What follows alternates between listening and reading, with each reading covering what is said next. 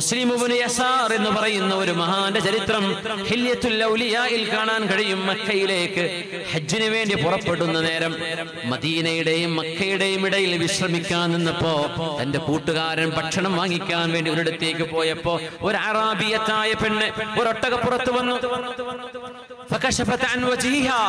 അവളുടെ നിഖാബ് അവൾ ഉയർത്തിയപ്പോൾ അതിസുന്ദരിയായ ഒരു പെണ്ണ്. അവൾ പറഞ്ഞു ഇന്നലി ഇലൈക ഹാജ. എനിക്കൊരു ആവശ്യം നിർവഹിച്ചു തരണം. അപ്പൊ നിനക്ക് ഭക്ഷണം ഭക്ഷണമാണെങ്കിൽ എടുത്തോ പൈസ വേണമെങ്കിൽ എടുത്തോ എന്ന് പറഞ്ഞു. മുതലാളിയാണ് മുസ്ലിം ഇബ്നു സാർ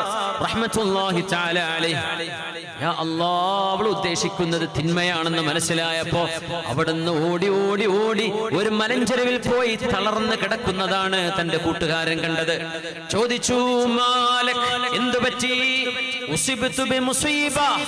എനിക്കൊരു മുസീബത്ത് സംഭവിച്ചു എന്ന് മുസ്ലിം. ചെറുപ്പക്കാർ മനസ്സിലാക്കണം. വ്യഭിചരിക്കാൻ അവസരങ്ങൾ ഉണ്ടാകുമ്പോൾ അതൊരു മുസീബത്താണ് ഒരു പരീക്ഷണമാണ് എന്ന് എത്ര പേർ ചിന്തിക്കാറുണ്ട്? നമ്മുടെ കണ്ണുകൾക്ക് യഥേഷ്ടം തിന്മകൾ കാണാനുള്ള അവസരം മുമ്പിൽ വരുമ്പോഴേ മുസീബ ഇതൊരു പരീക്ഷണമാണ് ഇതൊരു ട്രിബുലേഷൻ ആണ് ഇത് അള്ളാഹു നൽകുന്ന ഒരു ടെസ്റ്റ് ആണ് എന്ന് എത്ര പേർ ചിന്തിക്കാറുണ്ട്?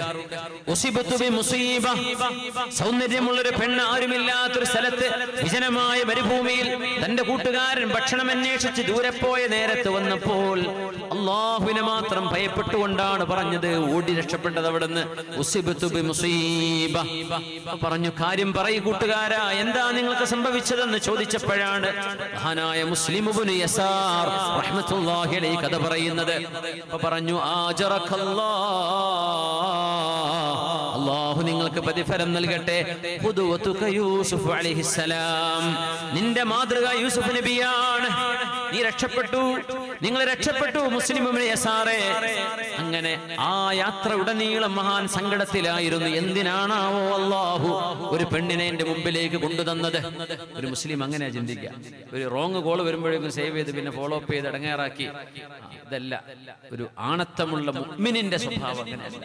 മുസീബത്താണ്. പോട്ടെ എനിക്ക് വേണ്ട. അവിടെ ക്ലോസ് ചെയ്യാം. ആജറക്കല്ലാ മക്കയിലെത്തി തവാഫ് ചെയ്തു. മഖാം ഇബ്രാഹീമിന്റെ പിറകിൽ നിന്നുകൊണ്ട് രണ്ട് റക്അത്ത് നിസ്കരിച്ചു. ഇബ്രാഹിം അലൈഹിസ്സലാമിന്റെ പരിശുദ്ധമായ കാലുകളുടെ അടയാളം പിടിച്ചു കെട്ടിയ പിടിച്ചു നിർത്തിയ കല്ലുകളാണ് ഇതിനുള്ളിലുള്ളത്.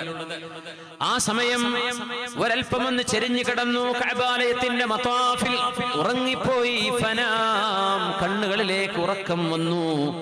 ഫറആ യൂസുഫ് അലൈഹിസ്സലാം യൂസുഫ് അലൈഹിസ്സലാം അവിടെ പ്രത്യക്ഷനായി മൻ അൻസ് മുസ്ലിമുന് യസാർ തങ്ങൾ ചോദിച്ചു നിങ്ങൾ ആരാണ് قال انا يوسف الذي هممت وانت مسلم بن يسار الذي لم تهم നിങ്ങൾ മുസ്ലിമുന് യസാറല്ലയോ ഒരൽപ്പം പോലും തിന്മയെ പറ്റി ചിന്തിക്കേണ്ടി വന്നിട്ടില്ലാത്ത പരിശുദ്ധനായ ആളല്ലയോ നിങ്ങൾ എന്ന് മഹാനായ യൂസുഫ് അലിഹിസലാം യൂസ് മഹാനായ സുലൈമാനുബിനു മുസ്ലിമുബിന് യസാർ തങ്ങളോട് പറയുകയുണ്ടായത്രേ അതൊരു സൗഭാഗ്യത്തിന്റെ അടയാളമാണ് ആ സ്വപ്നം. അതൊരു നല്ല ലക്ഷണമാണ്.